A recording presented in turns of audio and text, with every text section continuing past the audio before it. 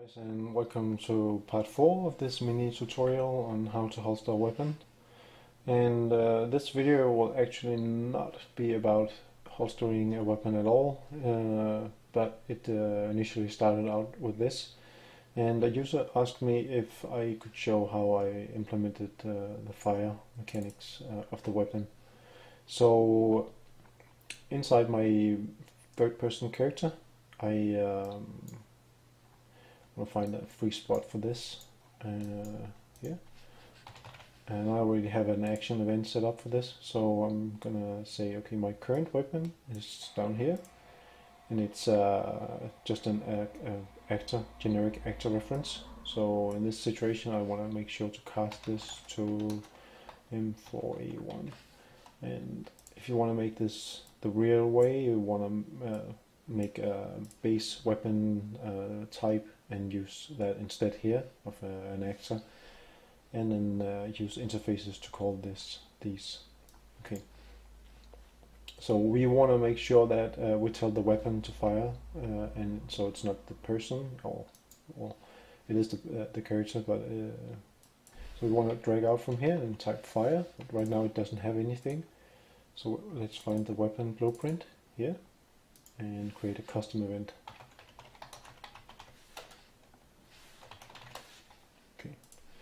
So drag one from this one. And one thing also you might as well get used to is to say, okay, uh, make sure that you always check your variables if they are set or not. So it's valid. I want to dump in between here. And uh, oops. I did not get that. Okay, well. Um, like this so that you're absolutely sure that your your current weapon is set. Um, so that's going to tell the weapon uh, to fire. And uh, the cool thing about this is that it's a weapon that's holding the ammo. It's it's got a maybe a magazine or something. So uh, those variables you can put on onto this blueprint here. Uh, Actually, let me uh, add a little thing here while I'm at it. Uh, is a structure called uh, weapon um, info. Let's make um, damage float and let's make a oops and let's make another one called that distance uh, range um, yeah, that's it. Uh, you can add more if you want to. But uh, so let's add a variable in here called weapon um, stats or whatever, mm, and that's going to be of the type weapon info. Um, and let's um, compile this and expand this. So let's say the, the rifle is going to give that much damage and it's got a range of um, 200 meters so when we fire the gun, um, we want to make uh, find out where from where we fire the gun. And to do that, I would go into the static mesh here and say I would add a socket and call this the gun exit socket. And I would drag that to the end of the, uh, the rifle here, where I suppose the, the bullet would come from. So just put that somewhere uh, close to the end of the gun. Um, and also, well, we're gonna take a look at that in a moment because maybe this is not right. Okay. Um, so when we fire the gun, we I for this I'm just gonna use a trace line. Um, so drag out here and make a line trace by channel. I've seen other people uh, do something else, but um, I'm not really, to be honest, sure what they do. So uh, anyway, let's get the location for that uh, gun exit. So uh, get socket location um, for the gun exit. And plug that into the start of this. And the end is going to be um, get socket rotation uh, and for that we need a forward vector. And then uh, we also need the weapon stats, which has the, um, the, the range. So I kind of like to just split these like that. Um, so I have a, the range here. So I'm going to multiply this vector by float, range. I'm going to take the uh, beginning of my um, the the rifle and I'm gonna add that in here. So let's set that for duration so we can see where it's uh, shooting and if we have the right um, orientation.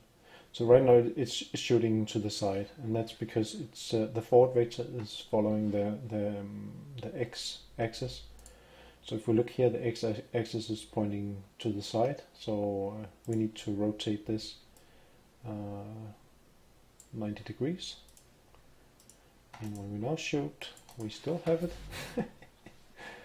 uh, what?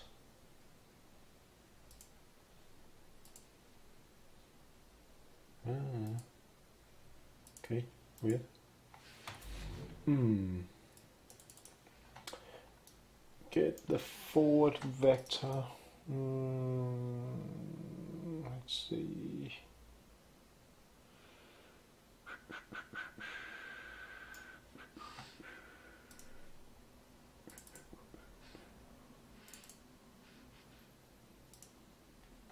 Mm -hmm.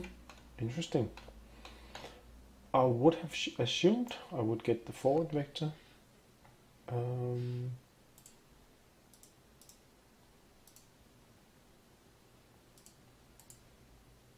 okay, weird. Uh, what am I missing? Oh, that's what I'm missing. There we go. Okay. Sorry about that. Um, so now we can shoot, but uh, we don't really do any damage at all, and we don't. We're missing a lot of components to this. Um, so let, but for let's uh, for this uh, video, focus on the damage. So if we hit something uh, with this line trace, we're gonna make a branch here.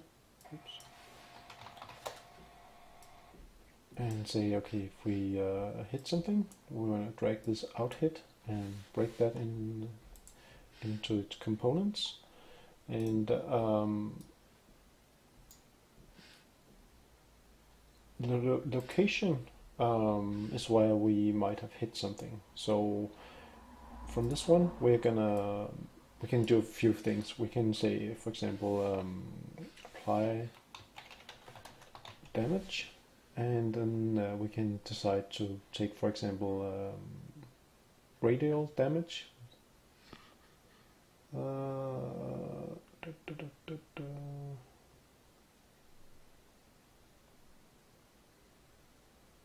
okay I haven't really tried this one. I wonder if this is a new one. Um, anyway um, so I'm gonna apply a radial damage and I'm just gonna drag this one out so I avoid having lines go all over the place. Um, so the base damage is going to be whatever our weapon has, and the origin is going to be the location, or the origin here. Uh, it's going to be the location, yes, that's right. And uh, the damage radius, I didn't really set any on on my. Uh, let's just set it to ten. And um, see uh, if I compile now, it's gonna say, okay, instigated by, um, well, if you want to know who caused the damage, you could pass um, self here, I believe. And uh, that means that the the damage causer is going to be the rifle, and the instigator is going to be the um, have something called get get instigator controller um, which I believe is the, the, the person shooting um, I'm not really sure actually, so let's print string and let's print this guy here. And make a quick test. So this is going to say player controller 6. So I guess this is, uh, I'm, I'm having player controller 6. So that's a way to find our way back to uh, whoever we are. Um, if you want um, I see instead of instigator controller um, we could also say um, if we want the name of the person uh, we could just say get instigator like this um, and then you could plug that one in. So it's gonna print out the, the third person character. Okay. Anyway that's not what this is about. Um, because I want to destroy something here.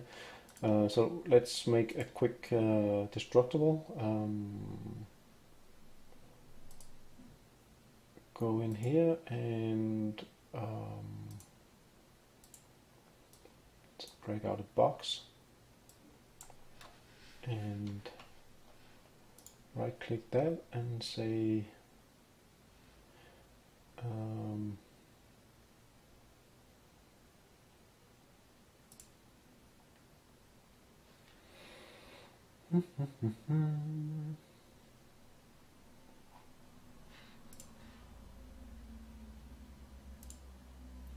create static mesh I guess you could just drag out a static mesh. Anyway but that's gonna create a static mesh box here uh, and create a struct destructible mesh and it's um, make sure we have something like 100 which is gonna look nice. And fracture it. And let's see we want a damage threshold of let's say 25 and damage spread I don't know I have I, I wouldn't touch that one. Enable impact damage uh, I'm not really sure what that does. Um, accumulate damage we want to have on that means that when we shoot it uh, actually let, let's give it 100 because that means our rifle is giving uh, 50 points of damage and it has 100 so we need to shoot it two times and then we could um, I think it's support depth. Let's not uh, touch that right now. But anyway let's uh, delete this one and drag this one in instead. This is our destructible. And uh, if we now turn around and shoot it once and shoot it again. Yeah okay now it's it, it broke. Uh, so now we can see that it's uh, breaking apart. And that's um, the basics of how I implement um, my shooting uh, logic here. Okay, so um, if you want to make a little, uh, let's see how much time did I spend? 13 minutes. I can I can use a few more minutes to, to take a look at how we can make this partially destructible. Um, so let me just check something. Um,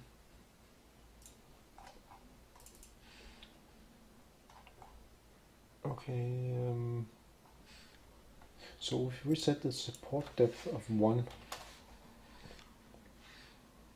and see what that does. Whoops. Whoa. that was not supposed to happen. Um, let's see, what did I miss here? World support maybe? Uh, yeah, okay, so that means that when we shoot um, yeah, only uh, part of it is gonna go uh, break into pieces. Um, that means you can break pieces of it this.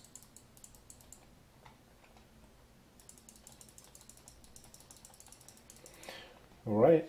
Um, so a few uh, points of um, improvement for this. Um, one could be to experiment with um, apply point damage. And the point damage is, uh, has a hit from direction uh, which tells us where it came from, and that should obviously be the exit of the gun. And it has a base damage as well, and uh, other than that, it looks like it's uh, pretty much the same. Um, another thing we could also we want to add to this is going to be, uh, for example, um, shot sound. Um, oops. Um, a muzzle flash which is going to be a, a particle uh, emitter. And uh, you want also want to make uh, impact uh, effect when whenever you hit something uh, it should make some kind of uh, smoke or spark or whatever. And you could also play around with a decal um, to leave a mark on uh, whatever you hit. Alright, so um, I guess that's it. Uh, plenty of stuff to improve on, but I um, that's it for this video for now. So thank you for watching and bye bye.